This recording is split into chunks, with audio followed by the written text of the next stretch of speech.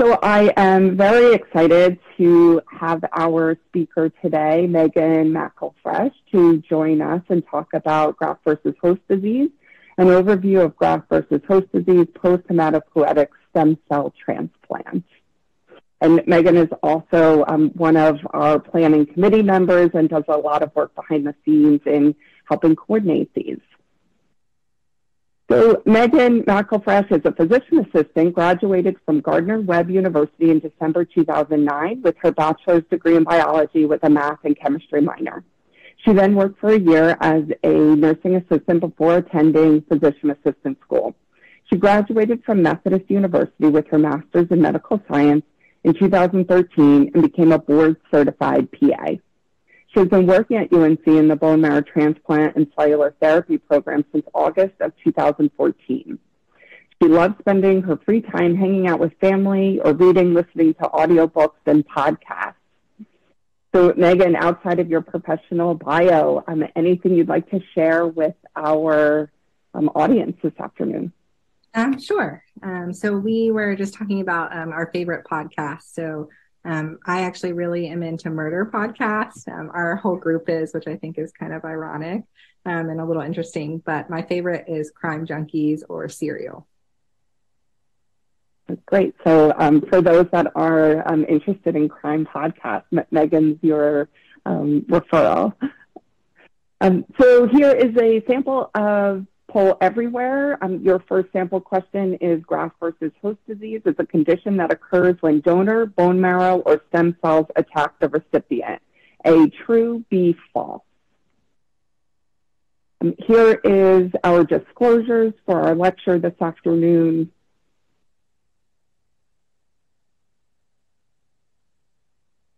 So Megan, our audience is, um, oh, now we have a mix of true and false. What do you think? So the correct answer is true. Okay, so most of our audience um, got it correct. So without further ado, I will hand it over to Megan. Thank you for being here to share your expertise. Uh, you're welcome. Thank you, Tammy. Um, so again, today I'm going to be presenting just an overview of graft, graft versus host disease post stem cell transplant. Um, these are the objectives for the talk today. So to understand graft versus host disease, you first have to understand a little bit about the basics of transplant. So there are two types of stem cell transplants, um, auto transplants or autologous and allogeneic transplants. In both of these, patients receive chemotherapy or radiation um, conditioning regimens before they are given a stem cell infusion. With the auto transplants, patients receive back their own stem cells.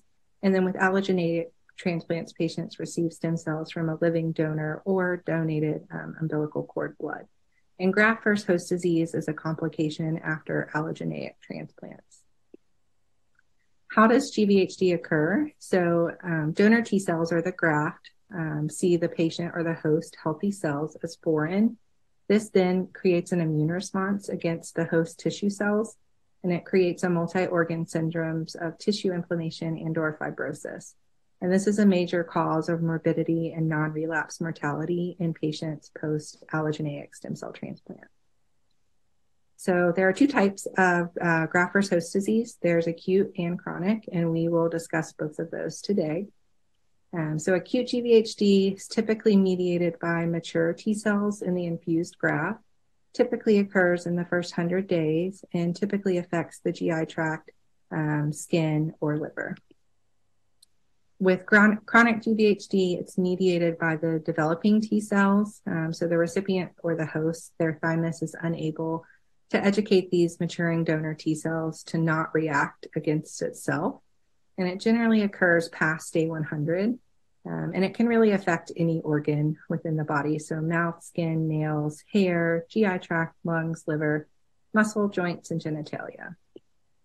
One caveat to the timing of GVHD um, so, acute GVHD typically is before 100 days, but can occur after. And chronic GVHD is typically um, after 100 days but can occur before. So, really, the best way to classify these now is based on the mechanism and the physical manifestation. So looking into acute GVHD, um, pathophysiology for this, you can really think of it as a three phase process where the innate and adaptive immune systems um, interact. So, first, there's tissue damage um, to the recipient or the host, and that's from the radiation and chemotherapy that they get pre transplant, which then activates what's called antigen presenting cells or APCs, and these release inflammatory cytokines. And then the second phase is the afferent phase, which there's donor T cell activation and clonal expansion. So the APCs actually activate these donor T cells. And then that leads to the third phase, which is target cell apoptosis. And this is the efferent phase. So there's cellular and inflammatory factors that work together to damage the target organs. Um, this picture here kind of shows um, the three phases. So at the top, you can see that the patient receives um, conditioning, which is either chemo or radiation which then causes the tissue damage. And then moving uh, counterclockwise, the second phase, the donor T cells are activated. So these host um, APCs are created, they activate the donor T cells. Then there's an inflammatory process um, that then leads to the target cell apoptosis, and that's the third phase. So acute GVHD um, used to be defined as classically occurring before 100 days. Um, but now they look at it more as GVH is acute GVHD is GVH that's not characteristic of chronic, um, which seems kind of self-explanatory, but there are specific diagnostic and distinctive features for chronic GVHD, and to have acute GVHD, you cannot have any of those features. And again, it typically affects the skin, GI tract, and liver. Um, the table below just kind of describes um, acute GVHD and what we can see with that. So classic is normally less than 100 days, has acute features, but not chronic. And then if it's over 100 days, when we see um, features of acute, that can be considered persistent, recurrent, or late onset acute GVHD, but again, has no features of chronic GVHD.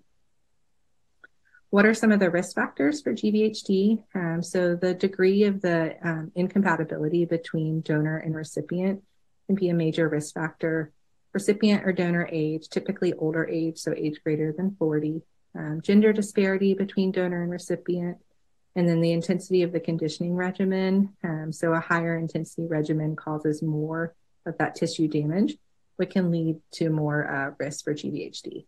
And then the source of the graft can also be a risk. Um, we typically see higher GVH with peripheral stem cells versus a marrow product, um, but this actually is more of a risk factor for chronic than acute GVHD. Um, so one of the most important risk factors for acute GVHD and chronic is going to be the um, degree of incompatibility between the donor and recipient. And this is based on HLA typing. So this is a human leukocyte antigen.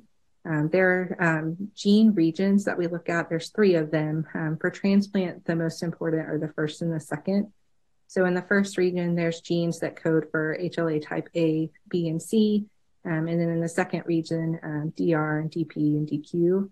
Um, with transplant, we really focus on HLA types A, B, C, and DR. And then there's a third region as well. So um, human leukocyte um, or HLA typing is used to look at the match between donors and recipients for marrow or cord blood transplants. HLAs are proteins or markers that are found on most cells in your body. And then your immune system uses these markers to recognize which cells belong to your body and which do not. And this can be tested through um, a blood sample or a cheek swab. Um, and if there are p- people that are interested in looking at HLA typing and becoming donors, um, that's done through Be the Match. Um, with acute GVHD, so again, there's this intense inflammatory response. So donor T cells recognize major and minor HLA disparities on the host cells. And then with related donors, there's a 30 to 40% chance of acute GVHD. And with unrelated, it's a 60 to 80% chance. There is um, grading and severity scales that we use for acute GVHD. This picture here kind of goes all, all of over all of that and in depth, um, but we'll break it down by organ system. Um, so the grading is done by each organ, and then the overall severity is based on if there's more than one organ site. So acute skin GVHD, um, typically we see an erythematous maculopapular rash. Um, people can have pruritus as well. Um, it really can affect any area of the skin. There can be severe cases that have blistering and sloughing of the skin, and it can be diagnosed either clinically or by skin biopsy. So for clinical grading, grade one, there's typically a maculopapular rash that's over less than 25% of body surface area. Grade two would be a rash of over 25 to 50% body surface area. And grade three would be general erythroderma on greater than 50% body surface area, with grade four being erythroderma and bullae. Um, we use the rule of nines to determine the body surface area that's covered in rash. This is just a picture of the rule of nines. Um, it's similar to what's used for um, burn victims as well. This is a picture of some mild acute GVHD. Um, so the patient has some maculopapular uh, follicularly based lesions on their lower extremity. Um, the patient probably would be complaining of some itching as well.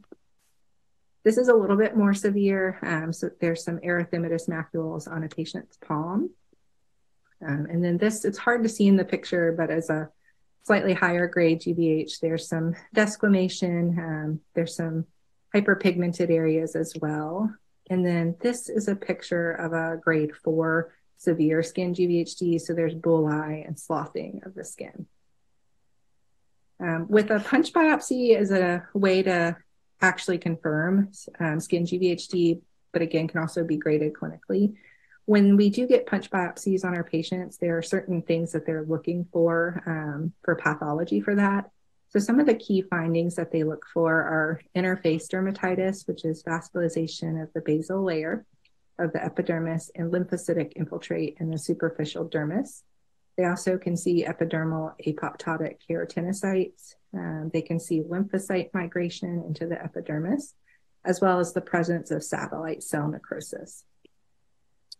You can grade um, skin GVHD based on the pathological um, results or the skin biopsy results. So grade zero is normal skin, or they think the changes are related to something other than GVH. Grade one would be vacuolization of the basal layer of epidermal and epidermal junction. Grade two, basal layer vacuolization. Um, there can also be necrotic epidermal cells and lymphocytic infiltrates. Grade, th- grade three has all of the grade two features, plus cleft formation at the dermal epidermal junction. In grade four, um, they can see all the grade two changes plus separation of the epidermis from the dermis, which is where you get the sloughing of the skin. Some things to consider for differential diagnosis in patients that we may think have acute GVHD. Um, so we can see rashes from drug eruptions. Our patients are on a multitude of medications post transplant. Um, we can see viral exanthems that cause rash. Um, a lot of our patients have um, suppressed immune systems, so they can reactivate a lot of viruses. Eruption of lymphocyte recovery um, as patients are recovering their cells post transplant acral erythema. Um, that's where patients get erythema on their palms and soles, which can be a chemo effect. Toxic epidermal necrolysis, which is like Steven Johnson syndrome, usually medication induced. Um, engraftment syndrome, which we typically see more with autos than with allos. Uh, radiation dermatitis or erythema multiforme the treatment for acute skin GVHD. Um, so, with any GVHD, the best thing is going to be to optimize prophylaxis regimens, which we will talk about in a little bit. But for skin GVHD, we can often treat with just topical steroids um, if it's a low grade. We use different ones. So, options are triamcinolone, clobetasol, um, desonide, or hydrocortisone. This is usually used for grade one cutaneous GVHD. Um, there are options if patients still have low grade GVHD and they're refractory to topical steroids. There is a topical tacrolimus or um, ruxolitinib, which we'll talk a bit about a little bit later on. If patients have higher grade uh, skin GVH, though, the topical steroids don't typically um, help as much because it's hard to put um, steroid creams or ointments all over your body. So then we look at systemic steroids, um, prednisone or methylprednisolone. Um, usually we can get by with just oral prednisone in our patients unless they have that severe grade four skin GVHD. Um, so systemic steroids are usually given for grade two or higher, um, and our dosing is usually one to two milligrams per kilogram. So our first question for Poll Everywhere, um, we have a patient that's 87 days post-transplant. Um, they got a match-related stem cell transplant. They present to clinic with a maculopapular rash covering 20% of their body surface area, and they experienced sunburn one week ago. The current medications are Valtrex, Bactrim, Norvasc, and lorazepam. And what is the most likely etiology of the rash? Uh, drug allergy to Bactrim, B, acute GVHD, C, persistent sunburn effect, or D, chronic GVHD.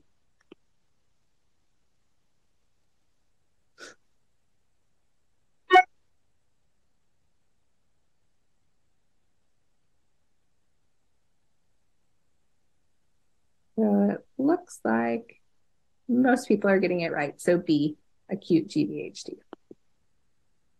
So next we'll talk about uh, acute GI GVHD. Um, often this can involve the upper and lower GI tract. So with lower GI, we can see diarrhea and abdominal pain. Upper GI, we can see nausea, vomiting, and anorexia. Um, diagnosis can be made clinically, but often is confirmed by pathological evaluation. Um, so an EGD, flex sig, or colonoscopy. Um, there's also a clinical grading for GI GVH, um, and it's based on the volume of diarrhea. So stage one is 500 to 1,000 mLs a day. Stage two would be a liter to a liter and a half of diarrhea.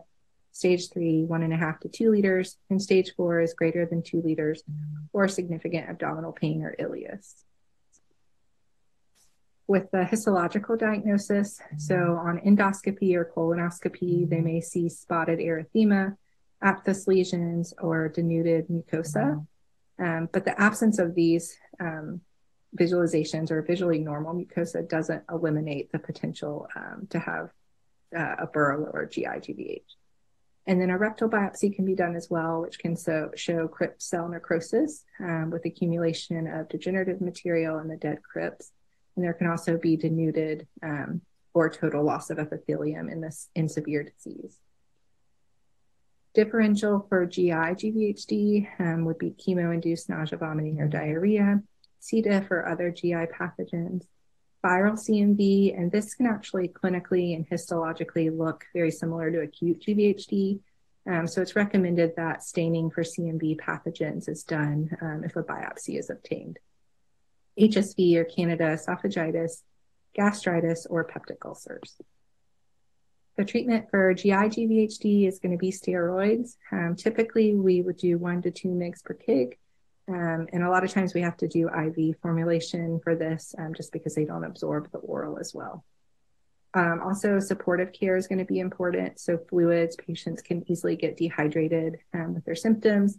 And blood products, patients can have um, blood with their diarrhea, and so they may need transfusions. Bowel rest is helpful to allow the gut to heal, and then pain management if they are having abdominal pain, with the caveat to monitor for an ileus. Acute liver GVHD um, typically presents in patients that also have cutaneous or GI GVHD, but can present alone. Um, signs and symptoms, transaminitis, typically alk um, but we can also see ALT or AST elevated as well. Hyperbilirubinemia, hepatomegaly, dark urine, pale stool, fluid retention, or pruritus. The grading is based on bilirubin. So stage one would be a bili of two to three. Stage two would be a bili of three to six. Stage three, bili of six to 15. And stage four, a bili greater than 15. Acute liver GVHD, some of the things to think for for differential um, hepatic veno-occlusive disease is a complication we can see post-transplant where there's obstruction of the veins of the liver, um, and hepatic infections, hepatitis, um, chemo effects, as well as drug toxicity, um, especially some of the azoles. There are other um, GVHD manifestations that can occur with acute GVHD. So skin, liver, and GI tract are the principal target organs with acute GVHD.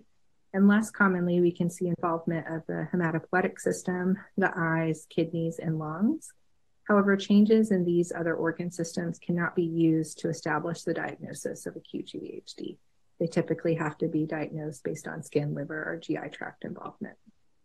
So, other manifestations with hematopoietic involvement, um, this can result in thymic atrophy, cytopenias, especially the um, platelet, so thrombocytopenia, and then hypogammaglobulinemia, um, especially IgA deficiency.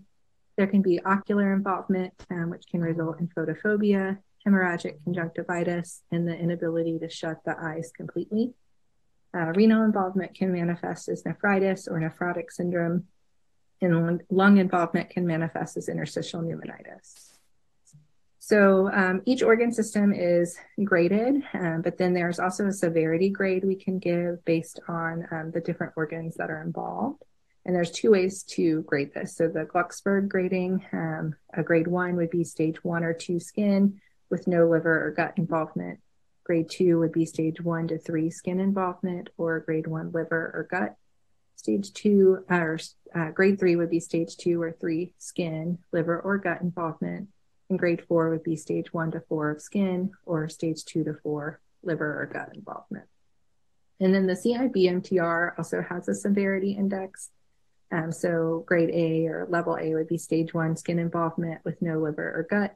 Um, B would be t- stage two skin involvement with stage one or two of the gut. Uh, C would be stage three skin, liver, or gut, and D would be stage four skin, liver, or gut.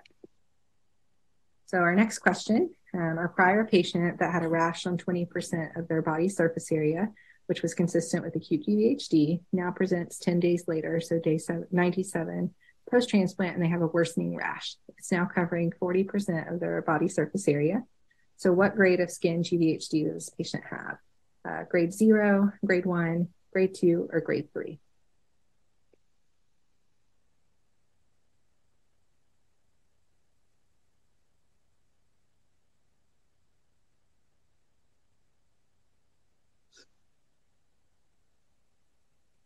So it looks like most people got it correct. Um, oh, more coming in. So grade two. So that's that 25 to 50% body surface area. So one of the most important ways we can um, try to help with GVHD post-transplant is using GVHD prophylaxis in our patients. So prophylactic strategies focus on T cell suppression in the recipient. And the mainstay of GVHD prophylaxis is going to be calcineurin inhibitor plus an anti-metabolite. Um, and the suggestion of using these combinations is based on superior survival and less acute GVHD with the combination compared with either agent alone. So calcineurin inhibitors, um, they inhibit the proliferation and activation of T cells. Um, this includes tacrolimus and cyclosporin. Um, antimetabolites include methotrexate, which attenuates the T cell activation at low non-cytotoxic doses and mycophenolate or MMF, which is a prodrug of the immunosuppressant mycophenolic acid. And this has a potent cytostatic effect on lymphocytes. So, um, kind of looking at why do we use calcineurin inhibitors plus methotrexate or MMF. So, a calcineurin inhibitor plus an anti-metabolite is superior to a calcineurin inhibitor alone. There was a phase three trial from 1986 that compared cyclosporin to cyclosporin plus methotrexate, and they reported um, overall survival was higher and the incidence of acute GVHD was lower with cyclosporin plus methotrexate compared to cyclosporin alone. And then calcineurin inhibitor plus antimetabolite is superior to an antimetabolite alone. There was a randomized trial that compared cyclosporin plus methotrexate versus methotrexate alone, and this showed that cyclosporin plus methotrexate had improved two year overall survival compared to methotrexate alone and less grade two to four acute GVHD with cyclosporin plus methotrexate versus methotrexate alone. Um, and then looking at methotrexate versus mycophenolate, um, there's a single center phase two randomized trial that compared TAC methotrexate to TAC MMF. And it showed that TAC and with methotrexate was more effective in preventing severe acute GVHD and then a CIBMTR study um, showed significantly inferior GVHD and survival outcomes with cyclosporin plus MMF compared to TAC with methotrexate, cyclosporin with methotrexate, and TAC with MMF in myeloablative transplants. And this suggested an advantage of methotrexate over MMF for GVHD prevention. There is another option for prophylaxis, um, especially in patients that do not tolerate tacrolimus. Um, there's a medication called sirolimus or rapamune. And this is the first commercially available mTOR, um, which is a um, mechanistic target of, of rapamycin. Um, and this um, medication helps to suppress cytokine driven cell growth and proliferation which blocks the co-stimulatory signals. The typical starting dose, um, we do a 12 milligram load times one, followed by four milligrams daily. And then we have target levels um, for this as well as TAC, which we'll go over in a bit. Um, target level for sirolimus is 3 to 12, and then the dose is um, adjusted based on these levels.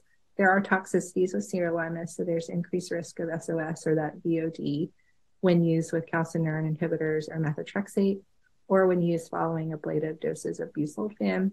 And then there's increased risk of MAHA, was, which is microangiopathic hemolytic anemia, um, when used with combination of calcineurin inhibitors. Another option for prophylaxis is post-transplant cyclophosphamide. Um, so cyclophosphamide has a potent and selective activity against alloreactive donor T cells, which results in low incidences of GVHD and transplant-related mortality. And this has actually allowed us to perform um, transplants that are HLA mismatched. There was a trial, um, the Progress One trial, which was a BMCTN trial that evaluated novel approaches for GVHD prevention using reduced intensity um, conditioning therapies. So post-transplant Cy plus TAC plus MMF was associated with lower rates of severe acute GVHD and chronic GVHD, requiring immunosuppression without a significant impact on overall survival or relapse when compared with just TAC and methotrexate.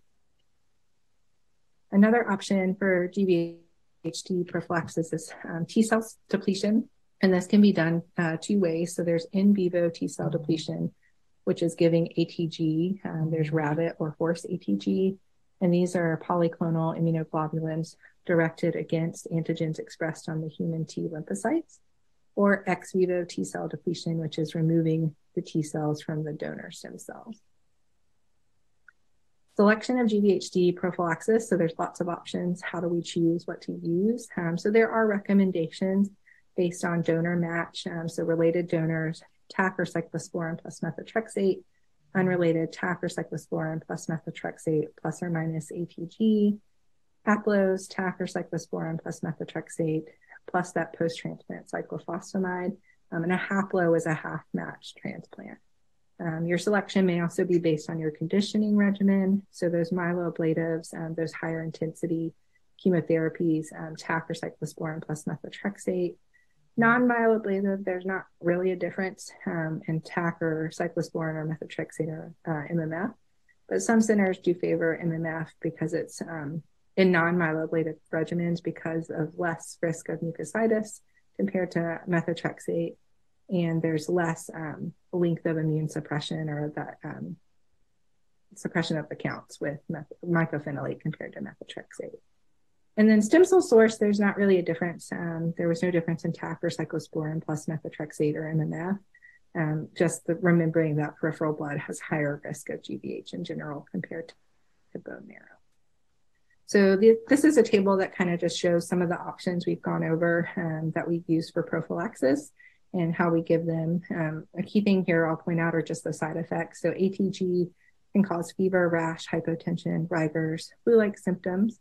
Um, and we do give pre-meds to prevent infusion reactions. And the formulation, so rabbit or horse, are not interchangeable. Uh, methotrexate can cause mucositis, that prolonged neutropenia or transient hepatotoxicity. And there is a depot effect if they're fluid overloaded um, and increased toxicity with nephrotoxicity. And then calcineurin inhibitors can cause hypertension, elevated blood sugars, uh, nephrotoxicity, neurotoxicity, hyper hypokalemia, hypomag, or tremors. Um, and you have to also watch for significant drug interactions, especially with azoles or clarithromycin. And then we also have here um, with the dosing, so the calcineurin inhibitors that list our goals there. So cyclosporin or trough is 200 to 400, and TAC is 5 to 10, but that's UNC specific. And then the other thing to point out with methotrexate is for our related transplants, we give methotrexate um, one day, three days, and six days after their stem cell infusion. With the unrelated mm-hmm. donor, we add in the extra um, day plus 11 methotrexate. Treatment for acute GVHD. Um, so it really depends on the site of disease and disease severity. Um, topical steroids, um, creams, and ointments can be used for skin GVH, and then topical agents such as beclomethasone, budesonide, or dexamethasone rinses. The next um, mainstay of treatment is going to be systemic steroids, so one to two mg per kg. Um, depending on how high of the dose, you may want to give it in divided doses rather than just one large dose. And then um, we try to taper from our starting dose if it's above one mg per, per kg. We try to taper to that pretty quickly, and then slow the taper after that. And then one thing to consider with steroids is the adjustment needed for uh, antimicrobial prophylaxis. So steroids um, work well for treatment um, of GVHD, but unfortunately have a lot of side effects. So we can see steroid-induced hyperglycemia, even if patients didn't have prior diabetes. Um, so we monitor blood sugars and start agents if needed. Um, insomnia, patients may need sleep aids. Um, mood disturbances and psychosis can occur. Cataracts as well as osteoporosis um, and long-term use steroids. Um, so DEXA scans are important to obtain, as well as starting patients on calcium and vitamin D. Muscle weakness can occur, especially pro- proximal muscle weakness. So physical therapy may be important to get um, for patients that have long-term steroid use. And then infection is going to be the big um, risk factor for our patients. So we do put our patients on infection prevention. Um, so with steroids for antibacterial prophylaxis, we typically use penicillin. Unless the patient is still neutropenic, then we would use Levaquin. Antifungal prophylaxis. So um, posaconazole or voriconazole are preferred over fluconazole. Um, there was a study um, that is from the graph on the right um, that compared POSA and fluke for prophylaxis and severe GVHD. And it showed that posaconazole was similar to fluconazole in preventing all fungal infections, but was posaconazole was superior to fluconazole in preventing invasive fungal infections like aspergillus. And then this uh, graph shows that the posaconazole had a lower probability of onset of infection compared to fluconazole. And posaconazole results in fewer fungal infection related deaths um, and those being treated for GVHD versus fluconazole. For PJP prophylaxis, um, Bactrim, pentamidine, dapsone, or atovaquone are used, and then shingle prevention, Valtrex is used. We also recommend infection monitoring so weekly monitoring for viral reactivation of CMV. Um, if patients received ATG, we also recommend monitoring for EBV. We don't typically monitor for other um, viruses routinely, but if patients are starting to have declining counts or other concerns for um, viral infection, we can check other viruses. Um, and then one virus we can see is BK. So if patients present with hematuria, plus or minus clots, um, dysuria, bladder spasms, we check a urine and serum BK. Um, and there's not a great treatment for this. Um, hydration is the best option to help kind of flush out that virus. But uh, patients can get um, continuous bladder irrigation or intravesicular cidofovir if they have severe symptoms.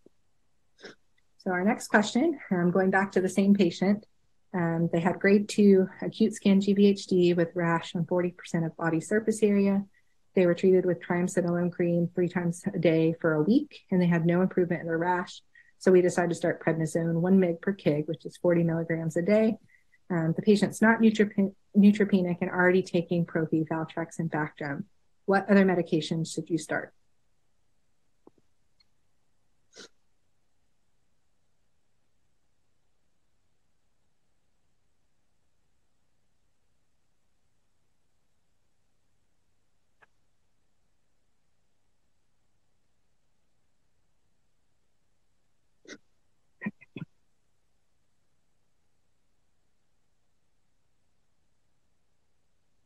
So for this patient, looks like there's some still rolling in. Um, the correct answer is D. So we choose penicillin because the patient's not neutropenic, and then posaconazole is the preferred over fluconazole.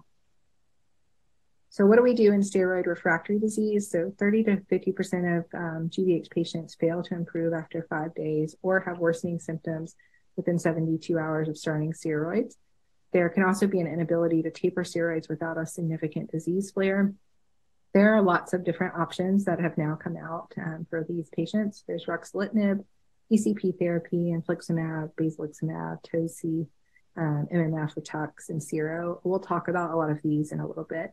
And then visceral disease typically be, seems to be more refractory than skin. Um, so acute GVHD is a common complication classification of allotransplants, recipients with unrelated mismatched peripheral donors are at highest risk. Um, it commonly affects the skin, GI tract, and liver. Calcineurin inhibitors, methotrexate, MMF, post-transplant Cy, and ATG are all commonly used to prevent GVH, and the first-line treatment is typically high-dose steroids. So now we'll talk a little bit on chronic GVHD. Again, typically after 100 days.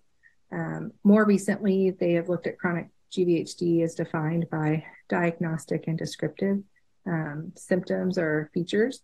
Um, so chronic GVHD is a different effector cell than acute GVHD. So it has different clinical manifestations, which is why they can um, have specific features based on uh, chronic GVHD. So this is that same table from before, um, but now looking at chronic GVHD, um, classic is going to have no time limit, so it can be before or after 100 days, has no acute features but has chronic features, and then overlap syndrome, again, no time limit, um, but has chronic and acute features. So chronic GVHD is a syndrome of variable clinical features that resemble autoimmune and other immunologic disorders such as scleroderma, Sjogren's, primary biliary cirrhosis, bronchiolitis obliterans. Clinical manifestations may be widespread or they may be restricted to a single organ or site, and it can be a major cause of morbidity and mortality after transplant. Um, patients often have impaired physical, social, psychological, and well being, um, and impaired quality of life. Risk factors. So, the biggest risk factor for the development of chronic GVHD is actually prior acute GVHD. So the higher the grade of prior acute GVHD, the higher the incidence we can see chronic GVHD. Risk factor, other risk factors. Um, so again, HLA disparity. So an HLA mismatched unrelated donor is 1.57 times more likely to have G- chronic GVH versus a matched related donor. Age of the donor um, or recipient, again, older ages are higher risk sex mix mismatches, um, graft source, so peripheral blood is um, a higher risk than bone marrow, and then recipients of DLI, which are donor lymphocyte infusions. so chronic GVHD resembles acute states, but with chronic inflammation. So looking at acute skin, we saw rash, erythema, pruritus, and exfoliation, but in chronic, we can see sclerodermatous changes, decreased elasticity, um, with gut, with acute, it was diarrhea. With chronic, we can see malabsorption, weight loss, strictures, and stenosis. Um, eyes, lungs, and joints minimally are involved for acute, but are frequently involved for chronic. Um, so dry eye, decreased joint capacity, contractions of joints as well. So chronic GVHD, um, for each involved organ system, there may be diagnostic features, um, which can be used to sufficiently diagnose, distinctive features which alone are not sufficient to diagnose, or common features which can be seen in chronic or acute. Um, with skin, nails, and hair, so there's a list of diagnostic features for skin, um, things like lichen planus feature, sclerotic feature, or lichen sclerosus. Um, distinctive would be depigmentation. Common between acute and chronic are going to be erythema, maculopapular rash, and pruritus. Nails have no diagnostic, but distinctive would be dystrophy, longitudinal ridging, onycholysis, nail loss, um, and hair as well does not have diagnostic, but distinctive would be new onset alopecia, scaling, papulosquamous lesions.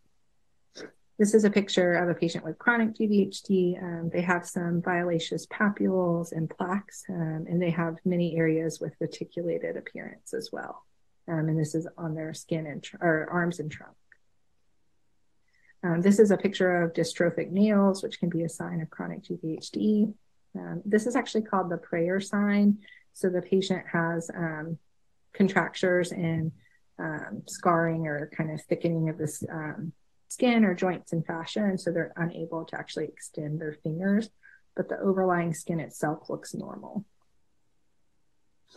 With mouth GVHD, um, there are diagnostic features, lichen type features, hyperkeratotic plaques, or the restriction of mouth opening due to sclerosis. Um, so distinctive features, xerostomia, mucoceles, atrophy, ulcers, and then common gingivitis, mucositis, erythema, or pain. Eyes have no um, diagnostic features, but distinctive new onset dry, gritty, or painful eyes um, cicatricial conjunctivitis, keratoconjunctivitis, or punctate keratopathy. Uh, genitalia have no diagnostic feature, or sorry, diagnostic features would be lichen planus or vaginal scarring or stenosis, and distinctive would be erosions, fissures, or ulcers. Chronic GI uh, GVH diagnostic would be esophageal webs, strictures, or stenosis in the upper to mid third of the esophagus, um, but there are no distinctive features. And then lung diagnostic is bronchiolitis obliterans diagnosed by lung biopsy, whereas distinctive would be bronchiolitis obliterans diagnosed with pulmonary function tests and radiology. Muscles, fascia, and joints diagnostic are going to be fasciitis, joint stiffness or contractures um, due to the sclerosis. Distinctive would be myositis or polymyositis. Liver actually doesn't have diagnostic or distinctive features, but there are common features um, for acute and chronic abnormal LFTs greater than two times the upper limit of normal. Typically, bilirubin, alk and ALT are elevated. And if you have a patient that you suspect isolated hepatic um, chronic GVHD and they have no other diagnostic features of any other chronic GVHD in other organs, then a liver biopsy should be performed for diagnosis. Some common features, so mouth, um, gingivitis, mucositis, erythema, and pain are common to both chronic and acute. And then GI tract, anorexia, nausea, vomiting, uh, diarrhea, malabsorption, weight loss, and failure to thrive in children are common to both chronic and acute. There is a grading or severity for chronic similar to acute, um, but it can be difficult to determine because of the wide range of affected organs and different presentations. So this uh, chart just goes through, there's a mild, moderate, and severe. So treatment for chronic GVHD. Um, the long-term goal of therapy is for patients to develop immune tolerance and decrease their morbidity and then we recognize that this goal is reached when we're able to taper, taper immunosuppressive agents without a flare of their GVH symptoms. So there's a lot of different options for treatment for chronic GVHD. Um, initial treatment is going to depend on site and severity. Again, steroids are going to be the mainstay of treatment. Um, typically, we do a lower dose starting, so 0.5 to 1 milligram per kg per day. We tend to keep them at this dose for one to two weeks and then taper by 10 to 15% every 10 to 14 days. Um, but only about 50% of patients have a treatment response. So that means 50% of patients will require an alternative treatment within two years. And then less than 20% of patients are alive and without disability at four years. So ibrutinib is another option. This inhibits B cell and cytokine receptor pathways. It was FDA approved in 2017 for chronic GVHD. The dosing is 420 milligrams daily. And toxicities include fatigue, nausea, diarrhea, muscle spasms, bruising, and pneumonia. Um, there was a clinical trial that showed um, ibrutinib was clinically meaningful and had sustained response in patients who have failed more than one prior treatment for chronic GVHD, with an overall response rate of 67%. 71% had a sustained response of greater than 20 weeks, and there was a similar response rate across all affected organs. And then patients experienced reductions in steroid doses while receiving ibrutinib. Ruxolitinib is a tyrosine kinase inhibitor um, that inhibits JAK1 and 2. It was approved in 2021 for chronic GVHD. Dosing um, is 10 milligrams twice a day. Toxicities include cytopenia, CMV reactivation, and hyperlipidemia. The REACH 3 study um, looked at the overall response rate at week 24 in patients with steroid refractory chronic GVHD. Um, and the ruxolitinib group had a 49% overall response rate um, compared to 25% in the group that received um, the best alternative treatment. Um, extracorporeal photopheresis, or ECP, is widely used in mucocutaneous chronic GVHD as a second line therapy, especially for steroid refractory patients. Um, it's effective in up to 80% of patients. It's typically paired sessions every two weeks, and there's a reassessment at three months. Um, it takes advantage of the ability to sensitize and alter the functionality of T cells. It's um, using photosensitizing agents, um, then followed by UVA exposure, and it allow, allows for intercalation of the lymphocyte DNA, which then leads to apoptosis of the, the lymphocytes. So the process, blood's taken um, from a line, it's run through a cell separator, T cells are removed, and the remaining blood is returned. Then the lymphocytes are mixed with photosensitizing agents. They're exposed to UVA light, which activates these agents. and then they can intercalate lymphocyte DNA and induce apoptosis. And then the lymphocytes are then reinfused back into the body. This is just a picture kind of showing that process. And then the use of ECP has been shown to be partic- particularly useful in patients with steroid refractory cutaneous acute or chronic GVHD. Um, and it can be used as a steroid sparing option. And then treatments are usually done initially weekly, then decreased to every two weeks um, as patients tolerate it. So, summary for a chronic GVHD um, it represents a significant unmet need for patients undergoing allogeneic stem cell transplant is a, is a leading cause of non relapse mortality. It mimics autoimmune and immunologic diseases. Um, steroids, again, are the main uh, therapy, but there are treatment options for steroid refractory, such as ibrutinib, ruxolitinib, and ECP. And then there are cl- current clinical trials um, aiming to better define chronic GVHD as well as assess for different treatment options. And then there is a bright side um, to graft host disease. So it does have some benefit that immune response that we're seeing that are attacking the normal healthy host cells are also destroying surviving cancer cells. So there's a graft versus tumor or leukemic effect. And this can also lead to lower um, relapse rates. So we do tell our patients a little bit of GVHD is not a bad thing. Questions?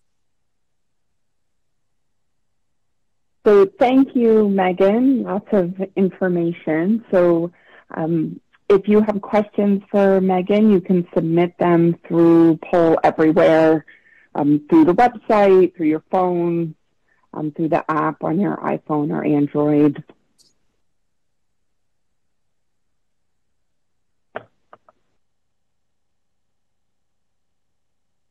So I, I, will leave questions to more people who are, are managing these complications. Um, I have way back in the day, but certainly not recently.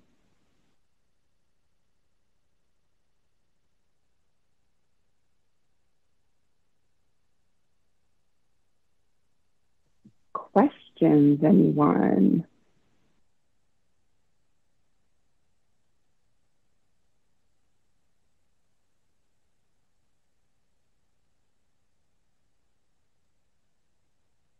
All right, Megan, it doesn't look like there are questions coming through, um, except for right now. Um, are there any side effects to the UVA treatment? Um, so not necessarily side effects, but I do know a limiting factor for a lot of patients is just the time constraint for it. Um, a lot of these patients that get this chronic GVHD are kind of later on in their course. They've already transitioned back home and having to come back here twice a week for several weeks to get this therapy can be very difficult, um, timing wise, but also transportation wise, financial wise. Um, so there can be limitations with it.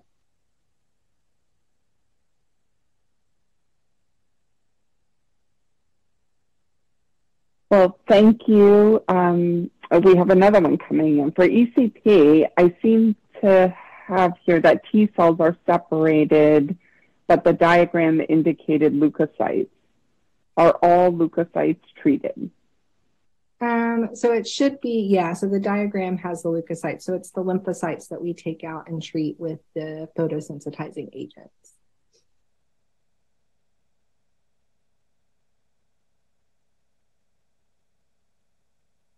And that wraps up any questions. So thank you, Megan, for sharing your expertise. Um, um, Megan's lecture will be online in about a week. You'll be able to um, review and share with your colleagues um, to go back and um, uh, find out any information. So thank you all for your attendance. This afternoon, and thank you to the University Cancer Research Fund, to UNC Lineberger Comprehensive Cancer Center, and the Lineberger Cancer Network. Our telehealth team are rock stars in the background making all this happen. So thank you to Tim Poe, Venia Bury, John Powell, Oliver Marth, Andrew Dodson, Nadja Brown, and Patrick Muscarella.